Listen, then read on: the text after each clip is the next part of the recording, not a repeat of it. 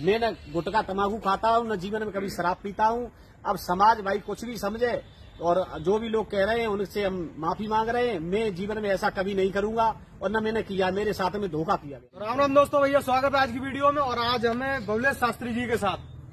तो शास्त्री जी के बारे में आज हम बताने वाले हैं आप लोगों को कि शास्त्री जी को किस तरह से एक षड्यंत्र में आपस के लोगों ने फांस करके और बदनाम करने की साजिश की है। तो शास्त्री जी से गलती क्या हुई है? कहीं ना कहीं शास्त्री जी से भी कोई ना कोई गलती हुई है, जिस वजह से आज इस षड्यंत्र में शास्त्री जी फंस चुके हैं। तो शास्त्री जी, आप उस दोस्तों, और आज एक हम भी रील बना रहे हैं, और अब रील बनाने पड़ेगी कि एक अपने समाज में जज साहब हुए हैं। तो वो निर्णय कैसा लेते हैं? करिश्मा शास्त्री ने कोई गाना गाया होगा? तो उनकी तो वो धज्जियाँ उड़ा रहे हैं।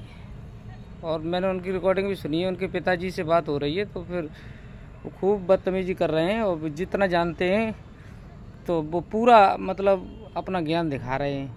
लेकिन बात ये, वो ठीक दिखा रहे हैं। फिर वो सबके साथ में वो करें।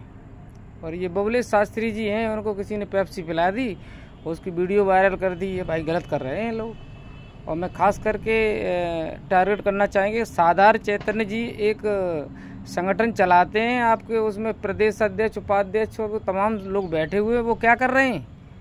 एक शास्त्री जी के मुँह पे किसी ने लाल बोतल लगा के वीडियो वायरल कर दी। और बेचारे की इतनी बेजती हो रही है शास्त्री जी बबलेश यादव जी की। तो संगठन तुम्हारा कुछ नहीं कर पा रहा है, फिर क्यों संगठन चला रहे हो? भाई, संगठन तुम्हारा कुछ नहीं कर पा रहा है तो फिर संगठन क्यों चला रहे हो? भाई बबलेश शास्त्री जी को मतलब जो आप न्याय दिलवाइए, ये कौन होते हैं कि आज आज नया वीडियो है कि मैं साहब, मेरे पास बबलेश शास्त्री जी आए हुए हैं? करण चौधरी कौन होते हैं? तुम पूरा संगठन चलाते हो, सबके खिलाफ एफआईआर कर देते हो तो यहाँ इनके खिलाफ भी बेचारे, कि, किसी ने मुँह में मतलब ऐसी चीज़ लगा दी, वो वही वो जानते भी नहीं है और और उसके खिलाफ वीडियो कौन को, कोई बना के दिखाओ भाई वीडियो।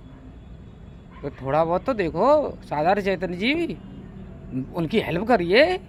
भाई किसी ने लाल बोतल मुँह पे लगा दी और वीडियो बना ली बताओ बेचारे को बदनाम कर दिया। बहुत सीधे शास्त्री जी हैं ऐसा मत करो लोगों।